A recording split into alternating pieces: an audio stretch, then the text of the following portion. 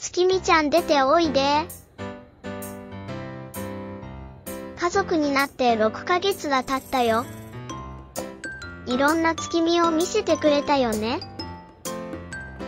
この時はお店に帰りたいのかと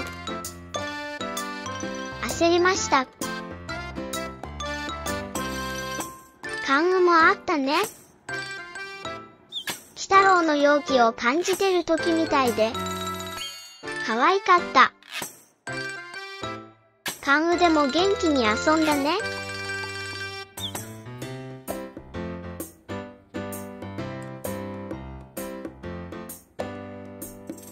手を出すと飛んできてくれるようにもなった。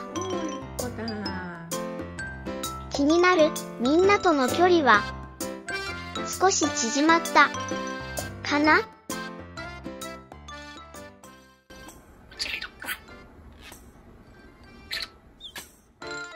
体重は？100g 何も怖がらない月見さん初めてのものでもガンガン食べます。ジャックンも何でも食べるよ。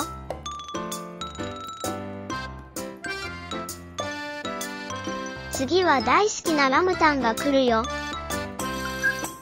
ラムタンがそばに来ると、食べてても、歌わずにはいられない月見さん。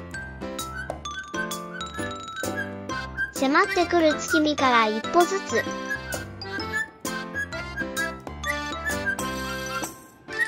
逃げるラムタン。